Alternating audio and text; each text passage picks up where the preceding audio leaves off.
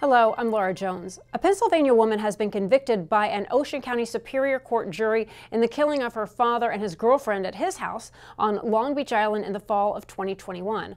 Authorities say the 57 year old will be sentenced in May. New Jersey homeowners and renters could get another year of anchor property tax relief benefits.